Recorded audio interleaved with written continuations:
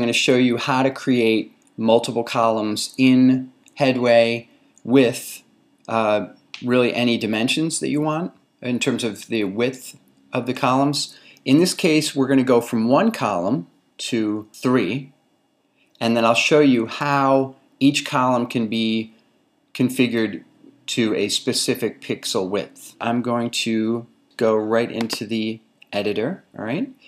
And we will, let's see, we will add, I'm going to actually add two widget ready sidebars. All right, I'm just going to add them.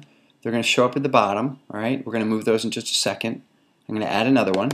Okay, so we have two down here.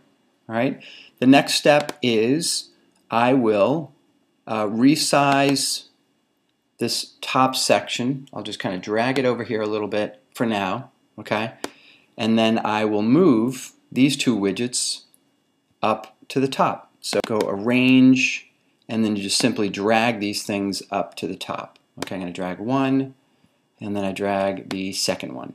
All right. Okay, so they're side by side right here. All right. Now, what I want to do is I want to add content.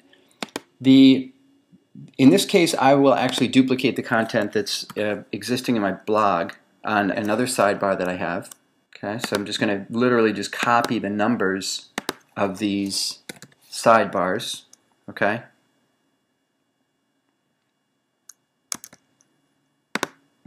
All right, I'm going to click Save, and then we're going to resize everything.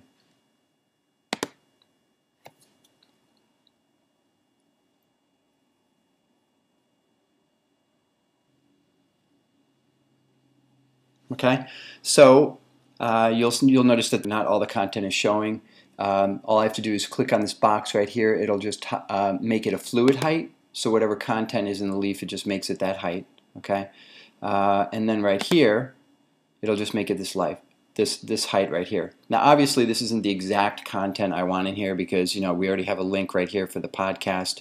We don't need two headway ads for sure. But just to give you an idea of how this works, so I'm going to go back into Leafs. I'm going to say resize. All right. Now under resize, when you when you enable resizing, all right, click in here and uh, select a specific width. All right. So I know that these two ads right here are 30 pixels across. I'm going to go like that. Okay. And I will take this and make it a little bit more narrow. All right. So I'm going to say 200 for now, and then we'll figure it out. All right. So I'm going to go 200. All right. So it pops it over here. And then what I can do is I could also resize just by dragging. All right. So I'm going to do that. And I can arrange the order of these columns pretty easily. Just literally click on these arrows. It will kind of move them around. Okay. So we'll go like that for now. It's not, not ideal in terms of my design, but we're not really talking about design right here. We're talking about like, you know, how easy this thing is to use. Okay. Um, so I think that is it and I will click on save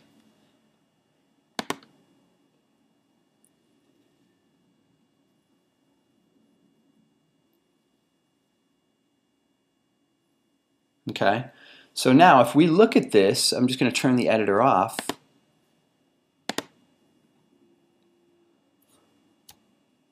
Okay, so what we're seeing right now, basically a three column page.